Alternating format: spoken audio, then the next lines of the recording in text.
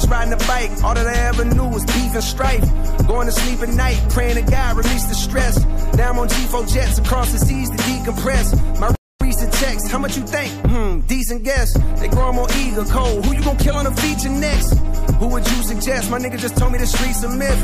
And he's perplexed. They telling on people like the teacher's pet. He took a pull of his weed, he hides the trees where eagles nest. I started chiefing less and less, it had my cerebral vex.